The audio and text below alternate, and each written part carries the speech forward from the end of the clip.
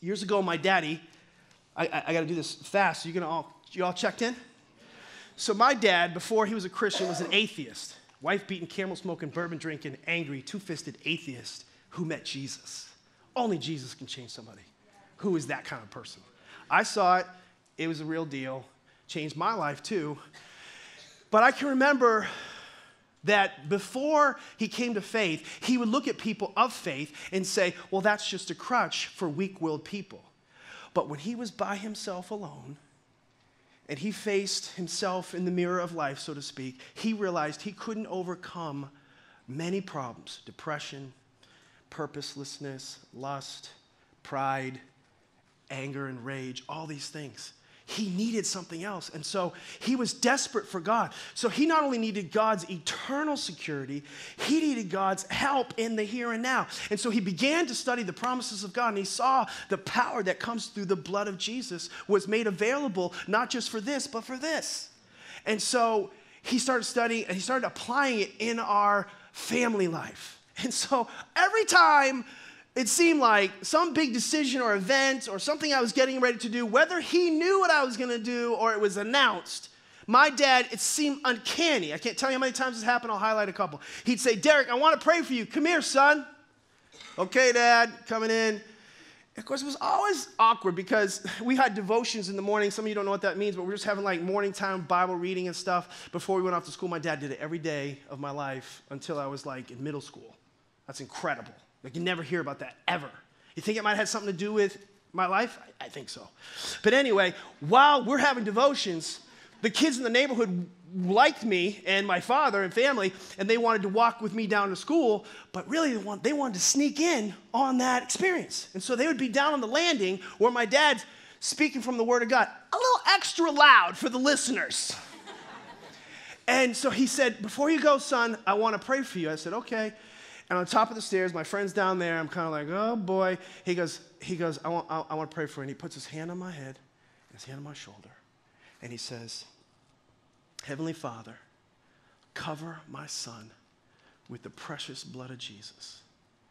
I pray that you protect him from all evil, and may the promises and plans of God be fulfilled in his life in Jesus' name. And then he sent me off. And I'd walk off, I'm like, awkward. Hi, guys. They look at me like, what was that? I'm like, ah, can we talk about it later? Anyway, skip ahead, years later. Don't know the effect of that. 17 years old, I get the greatest gift any son could ever get on his birthday. My dad gives me a new car. It wasn't a new car, but it was a used car. he promoted it like it was a new car. But it was a 1979 Volkswagen Scirocco, black, premium sound, sport wheels, a little bit of fin on the back, five on the floor because he taught me how to drive stick when I was like nine. And I'm so excited. I'm like, you're the greatest father in the world. Cool, you're gonna be able to drive this to school. That's awesome. Go to bed that night, couldn't sleep. Next day, wake up. I'm looking for the keys because I cannot. I want to be to school early for the first time in my entire life. Can't find the keys. All of a sudden, I go to the kitchen and I can I see them dangling his hand. I'm like, Dad, you're the greatest. And he goes. He goes, wait a second.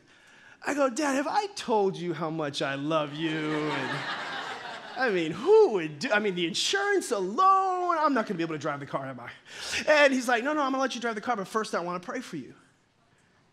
Put his hand on my head, put his hand on my shoulder. He said, Heavenly Father, cover Deryck with the precious blood of Jesus. Lord, I pray that you keep him from all evil, protect him from all evil and all harm. May no injury, accident, provocation come his way, and fulfill your purposes in his life. In Jesus' name. Whew. Skip ahead. I'm 21 years old. I'm in college. I'm coming back to my dorm room. I'm a thousand miles away from my parents. I'm going because I want to get a message from some girls that I'm hoping to connect with later with a couple of guys. And we don't have the best plans that night, but it's going to be fun. Beep! Son, it's your father. I want to pray for you. Put your hand on your head and on your shoulder. Heavenly Father, I plead the blood of Jesus over my son, and I pray that you keep him from all evil, protect him from all harm from all ungodly choices. And Lord, fulfill your purposes in his life. In Jesus' name, amen. Thanks, Dad, for ruining my night. Skip ahead years later. I'm driving down Cedar Street in Ashland and I'm thanking God. I'm just, you know, I'm on my sabbatical and I'm having these moments with Him and it's just so awesome. And I'm just like, God, why did I, how did I get this life? I don't deserve this life. How did this, how did this happen, you know, where I'd be in a situation where, you know, I had a lot of problems. Just, there's been difficulties, there's been challenges, but like, you've always turned them out for good. You know, you, you did a work in our marriage. You've done a work in my kid's life. You, you've, you, you blessed our church. A lot of people, a lot, a lot of people give up, splits, problems, issues. Lord, you just blessed me. Uh, why, how have I been shielded from so many of these things? And in that moment, a still small voice came over me and said, because you had a praying father Father who understood the power that is in the Lamb of God and his shed blood for you. And he applied it to himself and he applied it to you. And maybe that's why you're so blessed. Well, now I have four kids.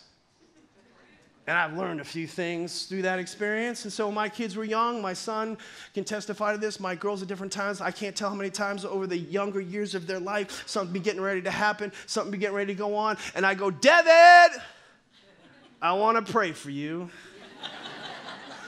and I'd lay my hands on my son and on his head and on his shoulder, and I'd say, Heavenly Father, I pronounce and plead the precious blood of Jesus over my son's life protect him from evil, keep him from all harm, help him to make godly choices, fulfill your purposes in his life. And he's living a purpose filled life. This principle is like a genetic virus if you catch it, because now I have grandchildren. Just last night, I had my grandson by myself. I covet moments with my grandkids alone, and it's a study night, and, and I, I, I'll sacrifice like food you know, sleep, you know, best prime time to be with my grand. And I'm with my grandson, Zion, and we're watching the dumbest movie in the world. And he's just sitting in my lap, and I don't care about the movie. I just, you know, just love being with him. He's so sweet. He's actually rubbing my hand like this. He's rubbing my hand. And I put my hand on his head, and the Spirit of God just came over me, and I just said, Heavenly Father, I plead the precious blood of Jesus over my grandson, over his life protect him from all evil, fulfill your purposes in his life. In Jesus' name.